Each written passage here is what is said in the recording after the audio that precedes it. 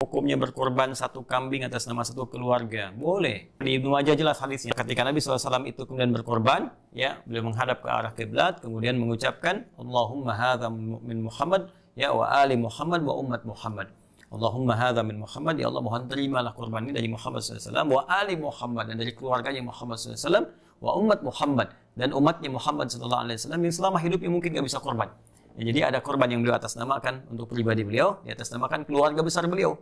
Ya, keluarga min Ali Muhammad. Ya, jadi keluarga besar beliau. Misalnya saya Adi Hidayat nih. Saya katakan misalnya Allahumma taqabbal hadza min Ali Adi Hidayat.